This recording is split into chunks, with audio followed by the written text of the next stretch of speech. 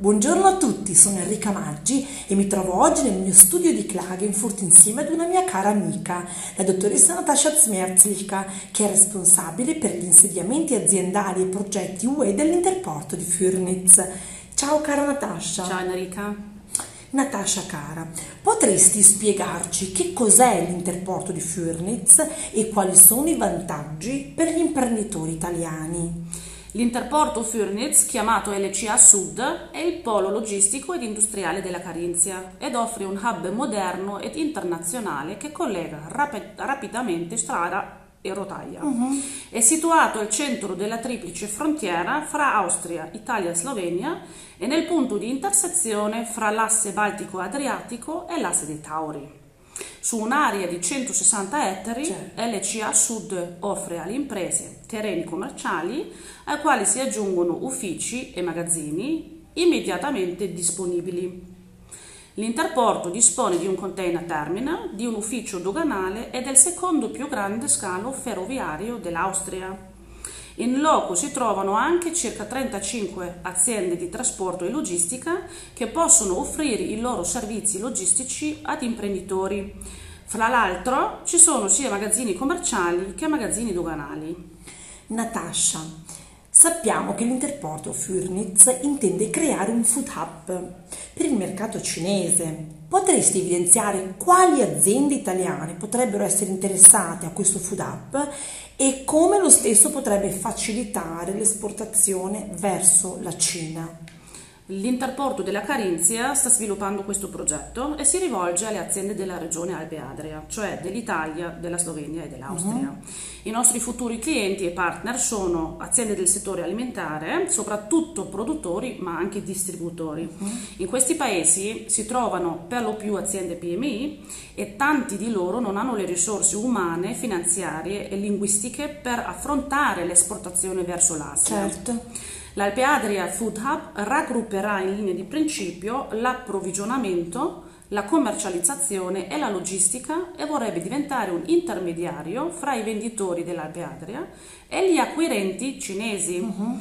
Ciò in quanto l'iter per l'esportazione in Cina è complesso. Uh-huh.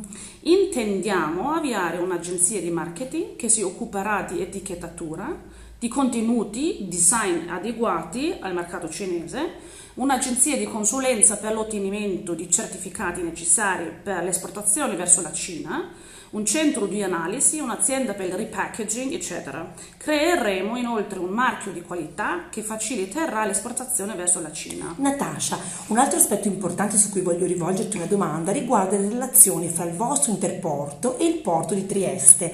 Quali novità ci sono al riguardo? Fra eh, l'ALCA Sud ed il porto di Trieste già da tanti anni vi è una forte collaborazione, uh-huh. anche perché il porto di Trieste necessita di partners nell'hinterland, i cosiddetti dry ports. Per la vicinanza geografica fra i due partners, l'interporto di Fürnitz dovrebbe diventare il dry port per il uh-huh. porto di Trieste. In questo momento stiamo anche collaborando in un progetto Interreg chiamato Smart Logi. Uh-huh.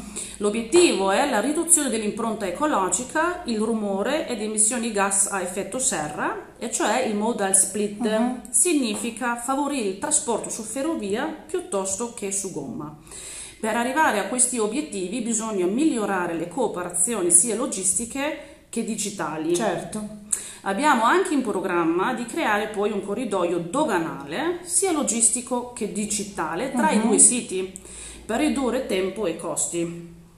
La merce che arriverà su nave con destinazione Austria viene subito messo eh, su rotaia ed immediatamente trasportata a Fürnitz. Natascia, da ultimo, se un'azienda italiana volesse insediarsi presso il vostro interporto, quali servizi potreste offrirle? Allora, alle imprese interessate a valutare un insediamento presso l'Interporto, noi come Agenzia della Mano Pubblica offriamo un servizio a 360 gradi, uh-huh. anche in lingua italiana.